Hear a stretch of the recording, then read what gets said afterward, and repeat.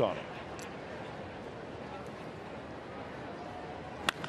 Ripped into the right field corner. That'll get at least two in, maybe three. Phillips is on his horse. One run scores. Here comes Phillips. The throw to the plate will be in time. They got him. But Jay Bruce delivers a rocket into the corner that plates two, and the Reds have a three to one lead.